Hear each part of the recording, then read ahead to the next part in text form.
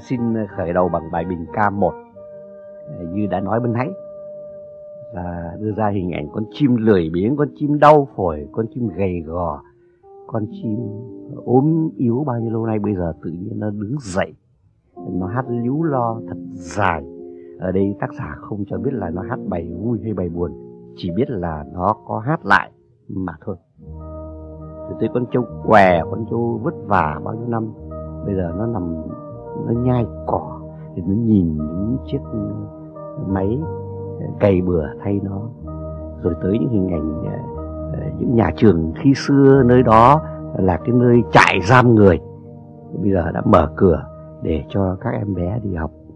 Rồi hình ảnh những hippie trẻ, mặc áo rách đứng ở bên nhà thờ mà trông đẹp như là chúa hiền mơ.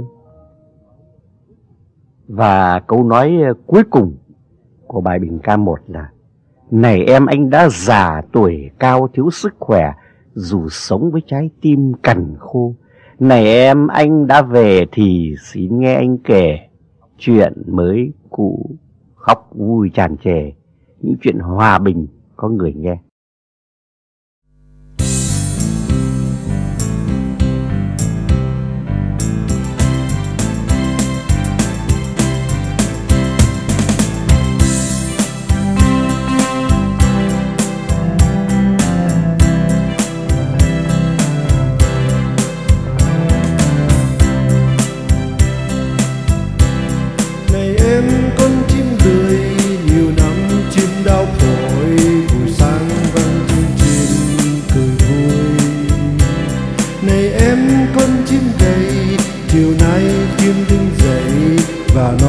thoát như lo thật dài vì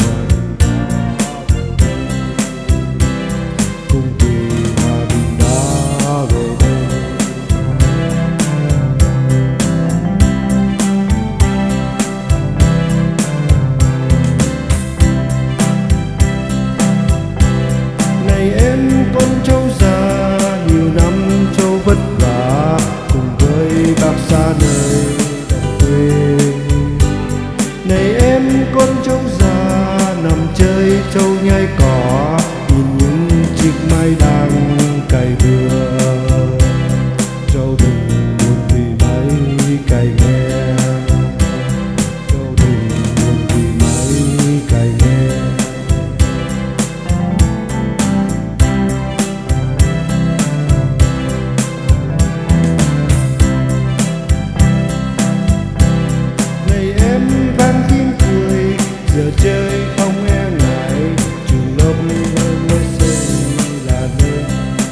xưa dám bao người già nua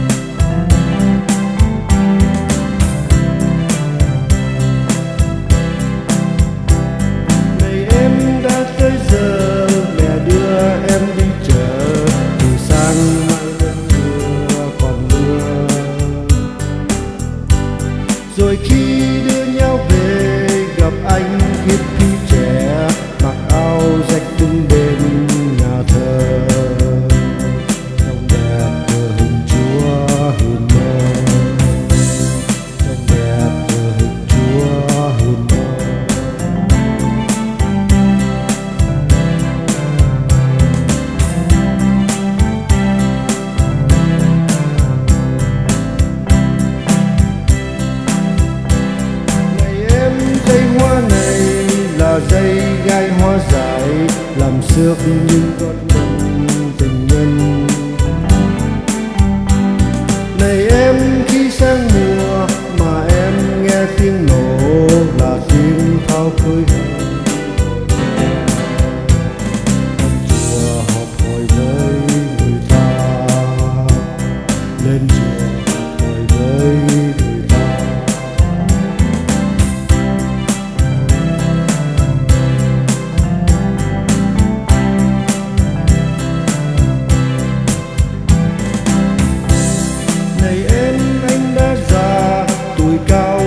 sức khỏe thường sống với trái tim cằn khô